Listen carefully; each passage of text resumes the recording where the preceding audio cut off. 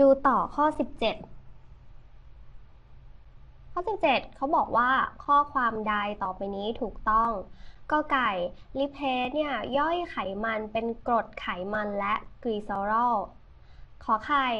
เปปซินทำให้โปรตีนและกรดไขมันมีขนาดเล็กลง คอควายเอนไซม์ในลำไส้เล็กทำงานได้ดีในสภาวะที่เป็นกลาง งองูเปปซินย่อยโปรตีน จนสามารถซึมผ่านเข้าสู่เซลล์ได้ ข้อความใดต่อไปนี้ถูกต้องถ้าเรายังจำได้นะเราสามารถตอบได้เลยเพราะว่าพี่ได้เฉลยในเรื่องของน้ำย่อยที่ออกมาจากตับก็คือน้ำย่อยลิเพสนะคะย่อยไขมันให้กลายเป็นกรดไขมันและกีซอรอลตอบข้อกอไก่เนาะนอกนั้นผิด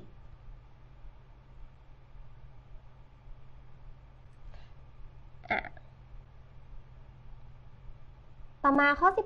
18 การย่อยทางเคมีอะเขาพูดถึงทางเคมีนะคะกับอาหารประเภทโปรตีนเนี่ยเกิดครั้งแรกที่ส่วนใด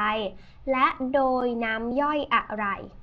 เขาถามว่าโปรตีนน้ำย่อยที่ย่อยโปรตีนเนี่ยที่เกิดขึ้นครั้งแรกเนี่ยมันคือน้ำย่อยอะไรเกิดขึ้นที่ส่วนใดก็ไก่ เกิดที่ปากคือน้ำย่อยอะไมเลส ขอไข่เกิดที่ปากคือน้ำย่อยทริปซิน คอควายเกิดที่กระเพาะอาหาร น้ำย่อยคือเปปซิน งองูเกิดที่ลำไส้เล็กส่วนต้น น้ำย่อยคือเปปซิน น้องตอบข้อไหน ถ้าข้อนี้นะคะ ข้อที่ 18เนี่ยเราสามารถตัดช้อยข้อกอไก่ทิ้งไปได้เลย เพราะเราจำได้แล้วว่าเกิดที่ปากคือน้ำย่อยอะไมเลสนะคะอะย่อยแป้งเนาะเป็นน้ำตาล เกิดที่ปากไม่มีเทปซินนะคะดังนั้นก็จะเหลือข้อคอควายกับข้ององูนะคะ เราจำได้หรือเปล่าว่า ส่วนใดของร่างกายของเราเนี่ยทำหน้าที่ในการย่อยสารอาหารประเภทโปรตีน ถ้าเราทราบเนี่ยเราสามารถตอบได้เลยนะคะคำตอบที่ถูกต้องข้อนี้คือข้อคอควายนะ จะเกิดที่กระเพาะอาหารนะน้ำย่อยคือน้ำย่อยเปปซินถูกต้องนะคะ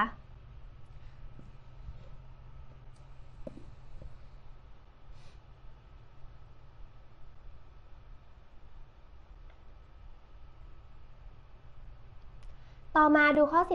19 หน้าที่สำคัญของลำไส้ใหญ่คือข้อใดก็ไก่สร้างน้ำย่อยชนิดต่างๆ ขอไข่ ดูดซึมน้ำแร่ธาตุและวิตามินที่ตกนะ อันนี้ไม่ใช่ตกนะคะกอไก่นะ ตกค้างอยู่ในกากอาหาร คอควายย่อยอาหารให้ร่างกายเนี่ยดูดซึมน้ำได้ งองูดูดสารอาหารต่างๆ ที่ผ่านจากการย่อยเนี่ยเข้าสู่กระแสเลือด ก่อนอื่นเลยลำไส้ใหญ่เนี่ยไม่ได้มีหน้าที่ในการย่อยอาหารแล้วนะแต่ว่าช่วยเหมือนเป็นตัวช่วยว่าให้กระเพาะอาหารและลำไส้เล็กเนี่ยช่วยให้ย่อยอย่างสมบูรณ์นะคะดังนั้นแล้วหน้าที่สำคัญของลำไส้ใหญ่เนี่ยต้องตอบข้อไหน ข้ององูนะ ดูดสารอาหารต่างๆ นะคะลำไส้ใหญ่จะทำหน้าที่ดูดซึมสารอาหาร ที่ผ่านการย่อยจากกระเพาะอาหาร หรือลำไส้เล็กแล้วเนี่ยเข้าสู่กระแสเลือด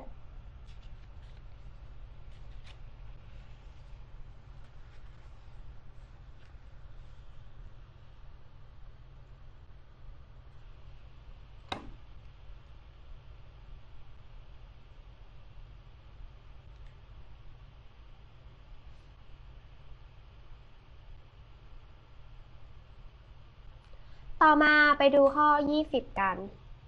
ในหน้าที่เท่าไหร่เอ่ย 16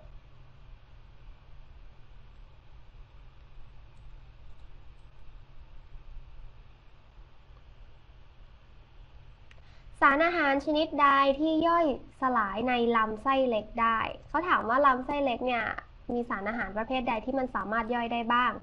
ก็ไก่ไขมัน ขอไข่ โปรตีน คอควาย คาร์โบไฮเดรตงองู ถูกทุกข้อ ตอบข้อใดคะ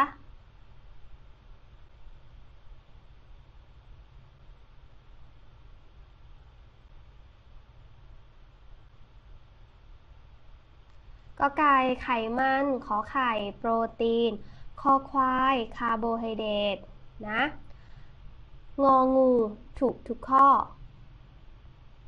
ตอบถูกทุกข้อนะ สามารถย่อยได้หมดเลย ต่อมาข้อ 21 เอนไซม์ในน้ำลายอ่าในน้ำลายนะคะ มีความสามารถในการย่อยสารอาหารในข้อใด ก็ไก่ไขมัน ขอไข่ โปรตีนนะคอควาย วิตามิน งองูคาร์โบไฮเดรตน้ำลายเนี่ยอยู่ในไหน อยู่ในปาก ถูกไหม ในปากน้ำย่อยมีชื่อว่า น้ำย่อยอะไมเลสจำได้แม่นเลย ทำหน้าที่ในการย่อยอะไรคะ ย่อยแป้ง กลายเป็นน้ำตาล แป้งในที่นี้ก็คือ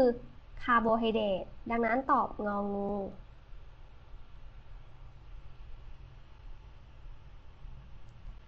ข้อ 22 ตับมีหน้าที่ในข้อใดกไก่ย่อยอาหารพวกไขมัน ขอไข่ทำลายเม็ดเลือดที่หมดอายุ คอควายสร้างน้ำดี ช่วยละลายไขมันให้ปนกับน้ำงองูสร้างฮอร์โมนบางชนิดให้แก่ร่างกายเพื่อควบคุมความอยากอาหาร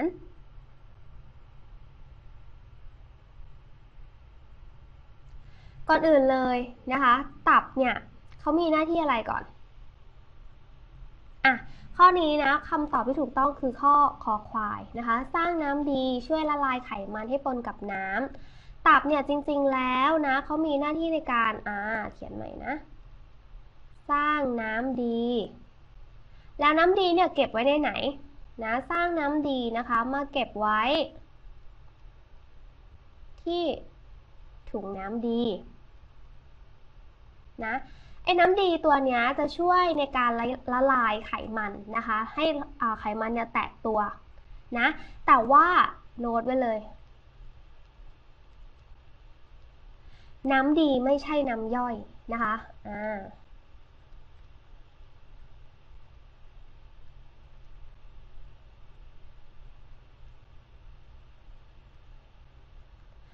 น้ำดีเนี่ยจึงไม่ทำหน้าที่ในการย่อยอาหาร โอเคไหม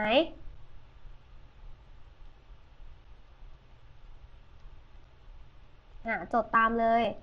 จึงไม่ทำหน้าที่ในการย่อยอาหาร แต่ว่าความสามารถของน้ำดีก็อย่างที่พี่บอกไปคือเขาจะช่วยให้ไขมันที่จับตัวเป็นก้อนอยู่เนี่ยแตกเป็นชิ้นเล็ก ๆ แตกเป็นส่วนเล็กๆเล็กๆเพื่อให้น้ำย่อยลิเพสที่ถูกสร้างมาเนี่ยนะย่อยสลายไขมันอีกทีหนึ่งโอเคไหมอันนี้ช่วยให้เขาแตกตัวเฉยๆ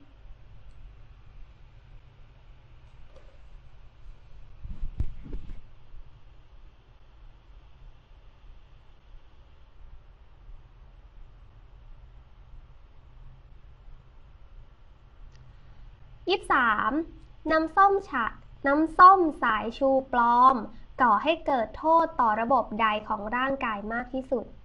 ก็กายระบบทางเดินอาหาร ขอไข่ระบบประสาท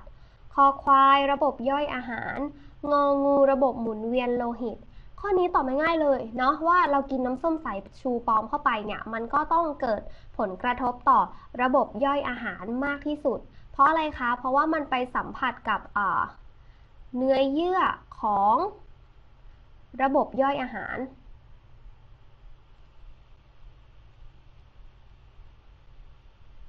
โดยตรงเลย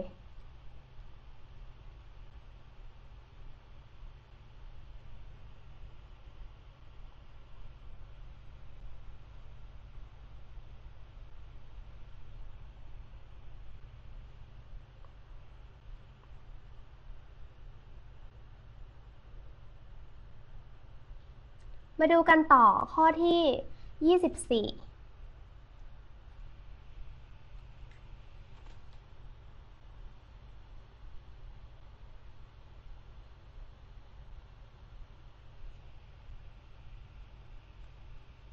ขออนุญาตลบนะ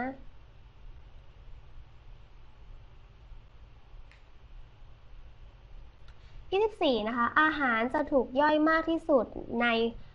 ข้อใดกอไก่ปากขอไข่ลำไส้เล็กคอควายลำไส้ใหญ่งองูกระเพาะอาหาร ข้อ 24 เนี่ยเราสามารถตัดไปได้เลยก็คือข้อคอควายนะเพราะว่าลายลำไส้ใหญ่ไม่ได้มีหน้าที่ในการย่อยอาหารโดยหลักแล้วจะมีหน้าที่ในการดูดซึม ดูดซึมสารอาหาร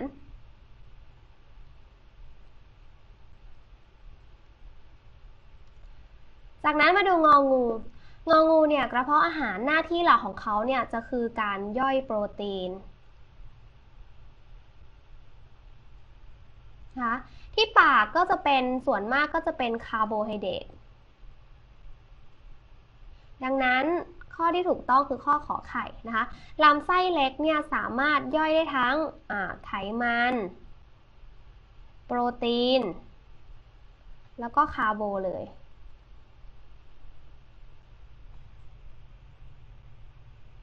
ดังนั้นแล้วนะคะลำไส้เล็กเนี่ยจะเป็นส่วนที่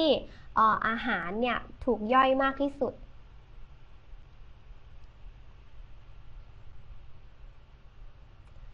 ต่อมาข้อ 25 อาหารในกระเพาะอาหารแตกต่างจากอาหารในลำไส้ใหญ่หรือไม่ เขาถามถึงในกระเพาะอาหาร กับในลำไส้ใหญ่นะ เขาถามว่าต่างกันหรือเหมือนกันอย่างไร ก็ไก่ แตกต่างกันนะ เพราะว่าอาหารในกระเพาะอาหารเนี่ยมีโมเลกุลเล็กกว่าอาหารในลำไส้ใหญ่ ถูกหรือเปล่า ขอไข่แตกต่างกัน เพราะว่าอาหารในกระเพาะอาหารเนี่ยมีโมเลกุลใหญ่กว่าอาหารในลำไส้ใหญ่นะที่แห้ง แข็งและเหนียว คอควายไม่แตกต่างกันเลย เพราะว่าร่างกายเนี่ยไม่มีระบบที่ทำหน้าที่เปลี่ยนแปลงโมเลกุลของอาหาร ใช่หรือเปล่าข้อนี้นี่ไม่ใช่แน่นอนถูกไหมถ้างั้นเราจะย่อยอาหารทำไมเนาะงองูไม่แตกต่างกัน เมื่ออาหารจากปากเข้าสู่ระบบย่อยอาหารแล้ว จะไม่มีจะไม่เกิดการเปลี่ยนแปลงอีก แสดงว่าขอคอควายกับงองูเนี่ยตัดทิ้งไม่ได้เลย ถ้างั้นเราจะมีระระบบย่อยอาหารไว้ทำไมถูกไหมคะ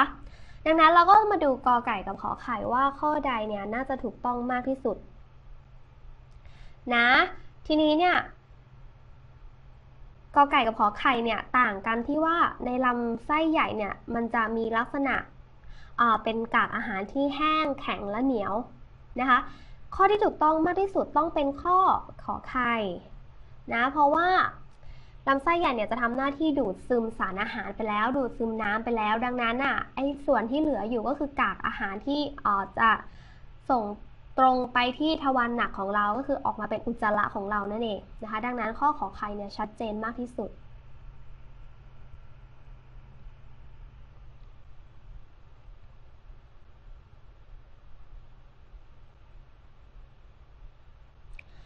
ยี่หก พิจารณาข้อความต่อไปนี้ ข้อ 1. การย่อยคาร์โบไฮเดรตเกิดขึ้นครั้งแรกที่ปาก ถูกต้องไหมคะ ถูกต้อง ข้อ 2 การย่อยโปรตีนเกิดขึ้นที่กระเพาะอาหารกับลำไส้เล็ก ถูกไหมกระเพาะอาหารย่อยโปรตีนลำไส้เล็กก็สามารถย่อยโปรตีนได้ ดังนั้นข้อ 2 ถูกต้อง ข้อ 3 น้ำดีเนี่ยช่วยในการย่อยไขมัน อลองคิดดูซิว่าข้อนี้เนี่ยถูกต้องหรือเปล่า น้ำดีพี่บอกแล้วนะว่าน้ำดีเนี่ยไม่ได้เป็นน้ำย่อยนะ ไม่ได้ย่อยไขมันนะคะ แต่ช่วยในการแตกตัวไขมันต่างหากนะไม่ได้ย่อยนะคะ ดังนั้นข้อที่ถูกต้องก็จะมีเพียงแค่ข้อ 1 และข้อ 2 ถูกไหมคะ ตอบข้อกอไก่ข้อนี้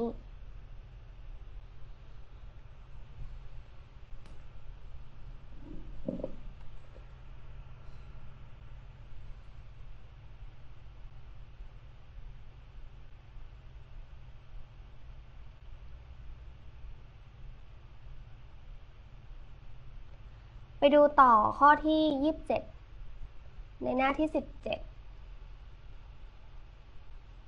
โอเค พี่ขออนุญาตลบ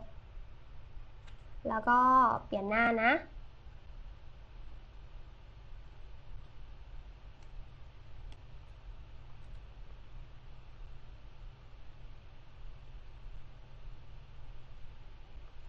ยี่สิบเจ็ดกรดในกระเพาะอาหารมีประโยชน์ตามข้อใด อะกอไก่ช่วยกระตุ้นร่างกายทำให้รู้สึกหิว ขอไข่ร่วมกับเอนไซม์ในการย่อยสลายโปรตีน คอควายช่วยกรัดก่อนอาหารให้มีขนาดเล็กลง งองูช่วยปรับสภาพที่เหมาะสมในการทำงานของเอนไซม์ ข้อนี้เนี่ยถือว่าchoice เนี่ยค่อนข้างยากอยู่นะ ทีนี้เรามาดูก่อนอ่าพี่จะ guideline ให้ว่ากระเพาะอาหารเนี่ย หนึ่งเลยกรดในกระเพาะอาหารคือกรดอะไรคะ กรดไฮโดรคลอริกนะ และมีน้ำย่อยชื่ออะไร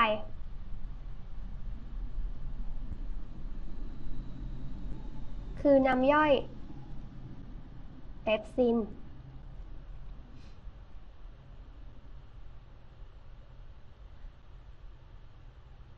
กรดตัวนี้นะคะกรดในกระเพาะอาหารในกระเพาะอาหารตัวนี้จะมีประโยชน์มากในคำตอบที่ถูกต้องคือข้อคอควายนะช่วยกรัดกร่อนให้อาหารเนี่ยมีขนาดเล็กลงนะคะทำงานร่วมกับน้ำย่อยนั่นเอง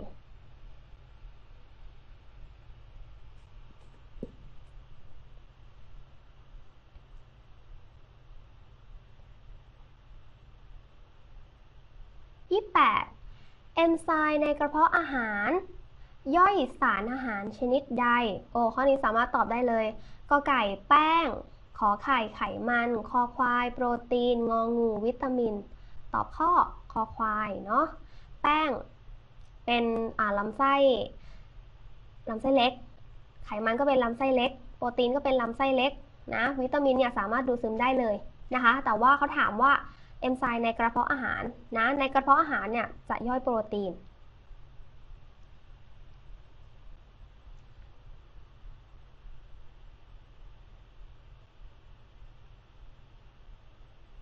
29 ระบบใดทำหน้าที่ลำเลียงอาหารไปสู่ส่วนต่างๆของร่างกาย ก็ไก่ ระบบหายใจ ขอไข่ ระบบย่อยอาหาร คอควาย ระบบหมุนเวียนโลหิต งองู ระบบขับถ่ายทำหน้าที่ลำเลียงอาหาร อาหารในที่นี้เนี่ยจะอยู่ในรูปของ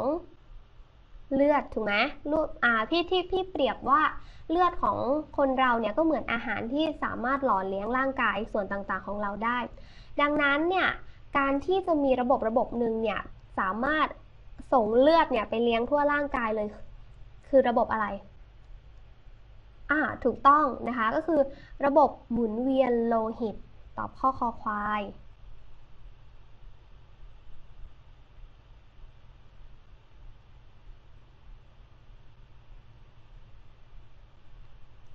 ดูกันต่อข้อที่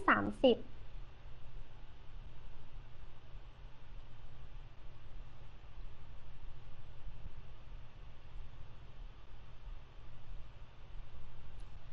ระบบใดของร่างกายทำหน้าที่ประสานการเพื่อเปลี่ยนอาหารให้เป็นพลังงาน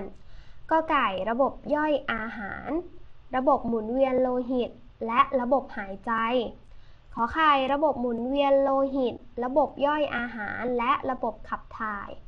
คอควาย ระบบย่อยอาหาร ระบบสืบพันธุ์ ระบบหมุนเวียนโลหิตอ่าและระบบหมุนเวียนโลหิต งองู ระบบย่อยอาหาร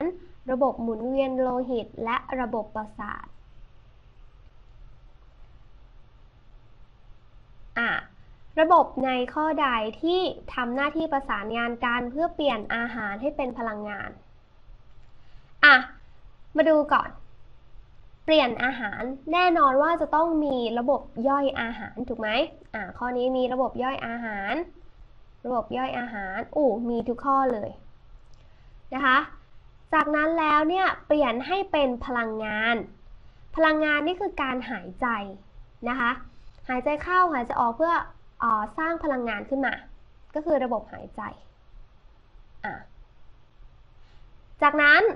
ตอบได้แล้วนะคะ ระบบหมุนเวียนเลือดก็จะทำหน้าที่สูบฉีดเลือดนะไปยังส่วนต่างๆของร่างกาย ก็คืออาหารของเราเนี่ยไปยังส่วนเลี้ยงส่วนต่างๆของร่างกาย นะคะ ดังนั้นเนี่ยข้อที่ถูกต้องก็คือข้อกอไก่นะ ระบบย่อยอาหาร ระบบหมุนเวียนโลหิต แล้วก็ระบบหายใจเนี่ยจะทำงานประสานกันหรือทำงานร่วมกัน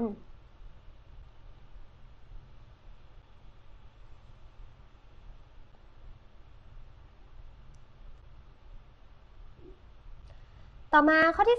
31 ส่วนใดในระบบทางเดินอาหารของคน ไม่ได้ทำหน้าที่ในการย่อยอาหารกอไก่ช่องปาก ขอไข่ลำไส้ใหญ่ คอควาย กระเพาะอาหาร งองูลำไส้เล็ก ข้อนี้ตอบได้เลยเนาะ ตอบข้อ ขอไข่ที่ปากอย่าลืมนะว่ามีน้ำย่อยอะไมเลสย่อยแป้ง กระเพาะอาหารย่อยโปรตีน อะ พี่เขียนให้ ย่อยแปล แปลงย่อยแป้งนะคะกระเพาะอาหาร ย่อยอะไรบ้าง ย่อยโปรตีน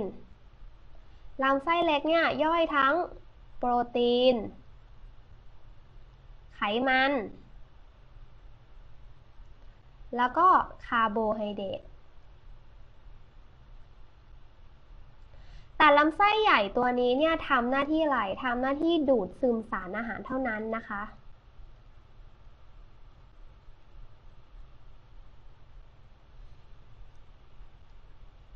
ดูดซึมสารอาหารเข้าสู่กระแสเลือด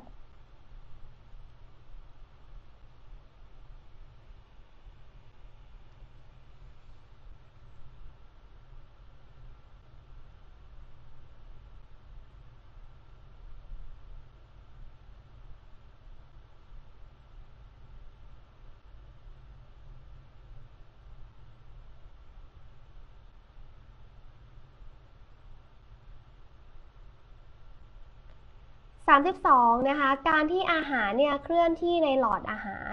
โดยมีการบีบตัวเป็นช่วงๆเขาเรียกว่าอะไรอะข้อนี้พี่เฉลยให้เลยกันนะคะเขาจะเรียกว่าเอ่อ peristalsis นะคะตอบข้อขอไข่ peristalsis เนี่ยก็คืออเจ้าหลอดอาหารเนี่ยมันจะเป็นอย่างนี้ถูกไหมแล้วมันก็จะมีการบีบตัวช่วงหนึ่งเพื่อให้อาหารเนี่ยส่งมา จากนั้นมันก็จะมาบีบตัวอีกช่วงหนึ่งเพื่อให้อาหารเนี่ยส่งไปยังหลอดอาหารเรื่อยๆนะคะ การบีบตัวเป็นช่วงๆแบบนี้เนี่ยเราจะเรียกว่า peristalsis นะหรือ peristalsis นะคะอันนี้ต้องจำนะข้อสอบออกบ่อย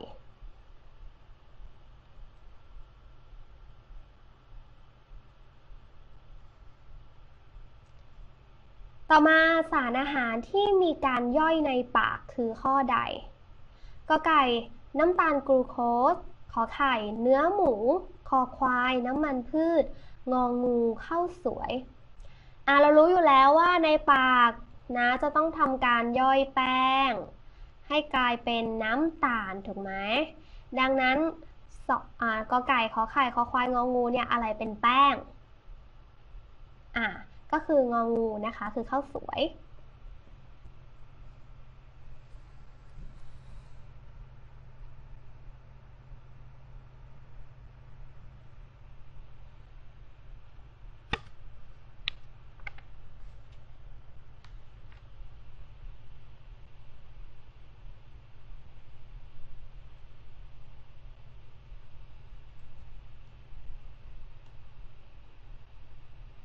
ดูต่อ นะคะ ข้อที่ 34อะพี่ขออนุญาตลบแล้วก็เลื่อนกระดาษนะอันนี้ตอบลายลำไส้ใหญ่ peristalsis ข้าวสวยนะคะอะ34 ข้อที่ 34 ถามว่าอวัยวะส่วนใดเนี่ยมีการดูดซึมอาหารมากที่สุดกอไก่กระเพาะอาหาร ขอไข่หลอดอาหาร คอควายลำไส้เล็ก งองูลำไส้ใหญ่ ข้อนี้ก็ตอบได้เลยเนาะว่าคืององูนะคะลำไส้ใหญ่เนี่ยมีหน้าที่หลักสำคัญเลยในการดูดซึมสารอาหารเข้าสู่กระแสเลือดอเขียนให้ เขียนเยอะๆ จะได้จำได้ได้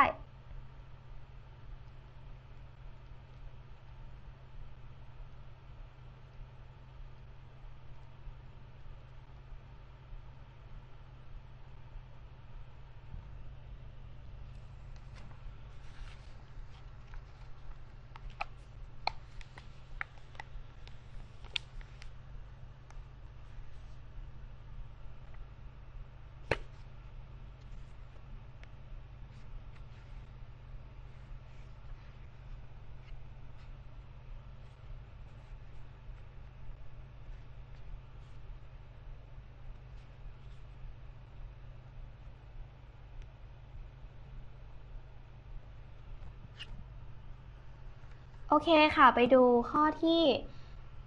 35 กันต่อ ในหน้าที่ 18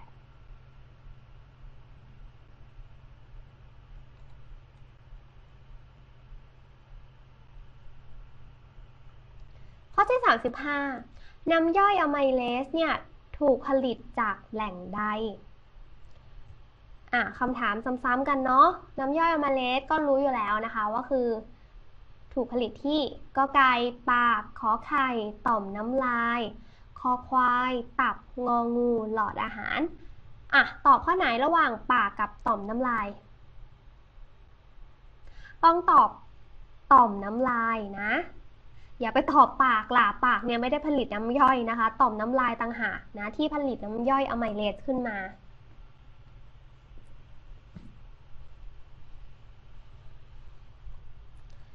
36 สารอาหารชนิดใดที่สามารถย่อยสลายในลำไส้ใหญ่ได้กอไก่ไขมัน ขอไข่ โปรตีน คอควาย คาร์โบไฮเดรตงองูไม่มีข้อถูกต้องลำไส้ใหญ่ไม่ได้ย่อยอาหารทำหน้าที่ดูดซึมสารอาหารถูกต้องไหม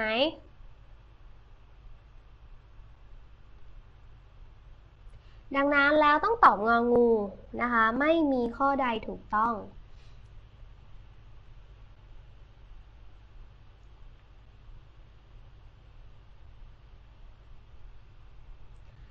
ต่อมน้ำลายมีกี่คู่นะข้อที่ 37 ถามว่าต่อมน้ำลายมีกี่คู่ทำหน้าที่สำคัญอย่างไรกอไก่ต่อมน้ำลายเนี่ยมี 1 คู่นะคะทำหน้าที่ในการสร้างสารเมือกออกมา ขอไข่เขาบอกว่าต่อมน้ำลายเนี่ยมี 2 คู่ ช่วยในการหล่อลื่นอาหาร คอควายเนี่ยต่อมน้ำลายเนี่ยมี 3 คู่นะ สร้างน้ำย่อยนะทำหน้าที่ในการสร้างน้ำย่อย งองูต่อมน้ำลายเนี่ยมี 4 คู่เลยทำหน้าที่ในการรับรสอาหารอะถ้าเราไม่แน่ใจว่ามันมีกี่คู่เราก็ไปดูหน้าที่สำคัญของต่อมน้ำลายก่อน ต่อมน้ำลายเนี่ยมีหน้าที่สำคัญคืออะไรคะ สร้างน้ำย่อยนะ แล้วคำตอบที่ถูกต้องเนี่ยก็เป็นคอควายด้วยนะคะ ต่อมน้ำลายเนี่ยจะมีทั้งหมด 3 คู่นะ3คู่ตรงนี้อยู่ที่ไหนบ้าง อยู่ที่ใต้หูนะคะ ใต้ลิ้น แล้วก็ใต้ขากรรไกร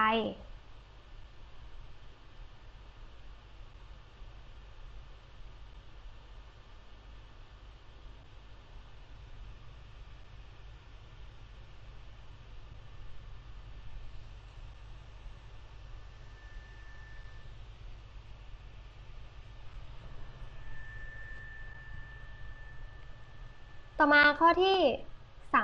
38 อาหารประเภทแป้งเนี่ยถูกย่อยจนสมบูรณ์แล้วจะได้สารในข้อใดก็ไก่น้ำตาลโมเลกุลเดี่ยว ขอไข่กรดอะมิโน คอควาย กรดไขมัน งองู น้ำตาลโมเลกุลคู่ ข้อนี้เนี่ยถ้าเราไม่รู้นะคะ เราสามารถตัดอะไรไปได้บ้าง เขาบอกว่าย่อยแป้งถูกไหม เรารู้อยู่แล้วเนี่ยว่าอันดับแรกเนี่ยย่อยแป้งต้องเป็นน้ำตาลโมเลกุลคู่ถูกไหมคะดังนั้นน้ำตาลโมเลกุลคู่ ต้องถูกย่อยต่อนะแล้วย่อยต่อเป็นอะไรล่ะ ย่อยต่อเป็นกรดไขมันใช่ไหมก็ไม่ใช่นะคะ คนละประเภทเลย กรดอะมิโนเกิดจากโปรตีนก็ไม่ใช่นะคะ ดังนั้นย่อยเป็นน้ำตาลโมเลกุลคู่แล้วก็ต้องกลายเป็นน้ำตาลโมเลกุลเดียว นะจะคู่ก่อนแล้วค่อยเดี่ยวนะคะ อย่าไปสลับกันว่าเดี่ยวก่อนแล้วค่อยคู่นะ ต้องมีคู่ก่อน คนเราเกิดมาเนี่ยต้องมีคู่ก่อนนะ แล้วค่อยอใช้ชีวิตคนเดียวนะคะ ดังนั้นตอบกอไก่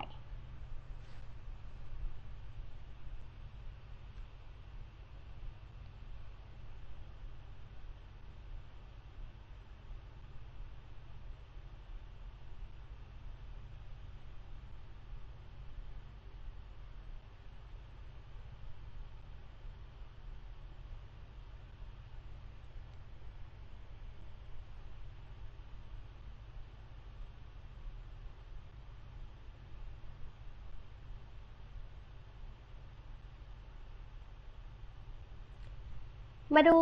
สองข้อสุดท้ายในชุดนี้กัน ข้อที่ 39 และข้อที่ 40 อ่า พี่ขออนุญาต ลบแล้วก็เลื่อนกระดาษนะคะ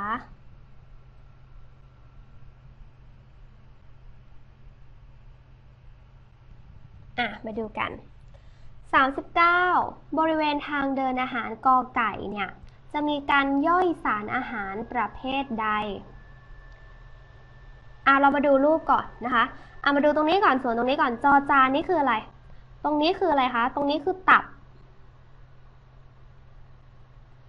คอควายตรงนี้คืออะไรคะ กระเพาะอาหาร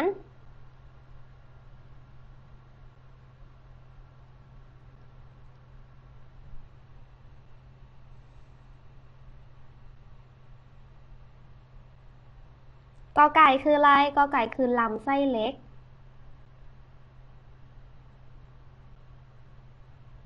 อะขอไข่คือลำไส้ใหญ่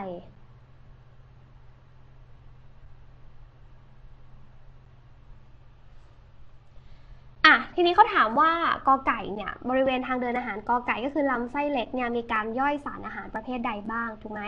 เรายุเราทราบมาบ้างแล้วว่าลำไส้เล็กเนี่ยสามารถย่อยได้ทั้งโปรตีนคาร์โบไฮเดรตแล้วก็ไขมัน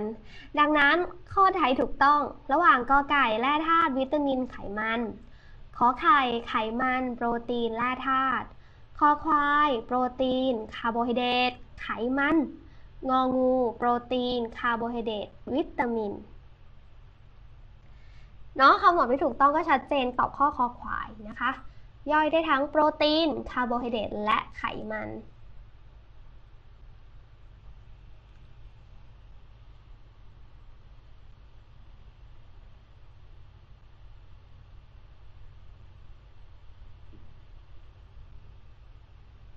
ต่อมาข้อที่ 40 การย่อยเชิงกล อ่า ย่อยเชิงกล จะเกิดขึ้นที่บริเวณใดบ้าง อ่า ตรงหนึ่งก็คือปาก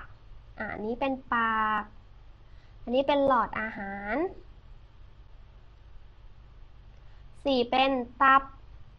3 เป็นกระเพาะอาหาร 5 เป็นลำไส้เล็ก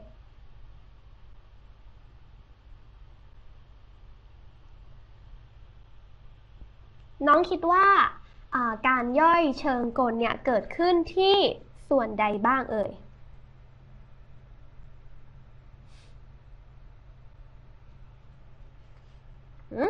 ตอบได้ไหม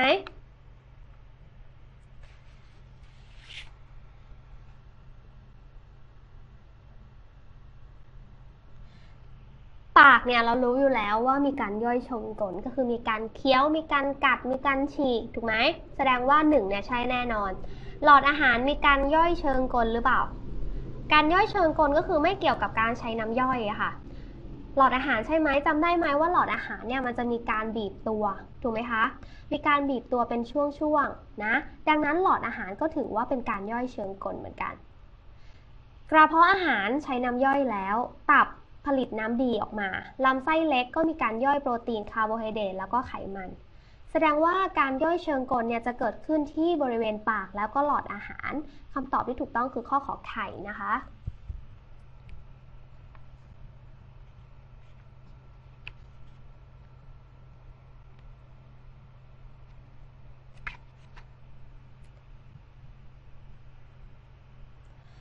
โอเค เดี๋ยว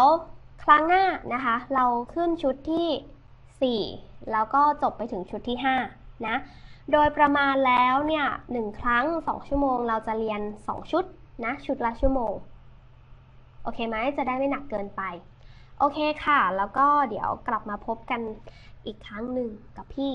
ในชุดที่ 4 นะคะ ชุดที่ 4 เนี่ยจะเป็นในเรื่องของ